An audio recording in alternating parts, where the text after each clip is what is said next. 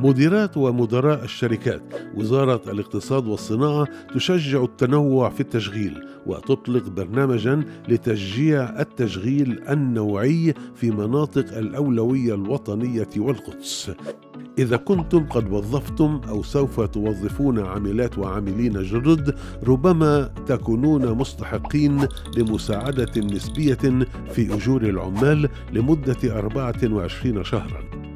مبلغ المنحة هو 25% من الراتب وحتى 180 ألف شيكل لكل وظيفة.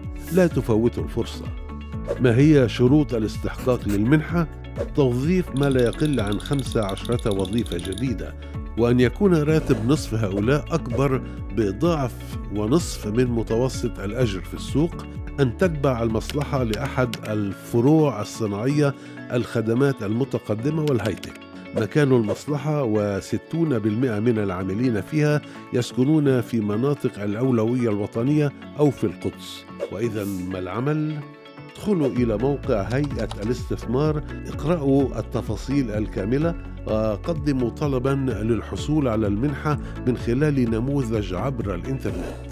هيئة الاستثمار وزارة الاقتصاد والصناعة نقود اقتصادا بشريا.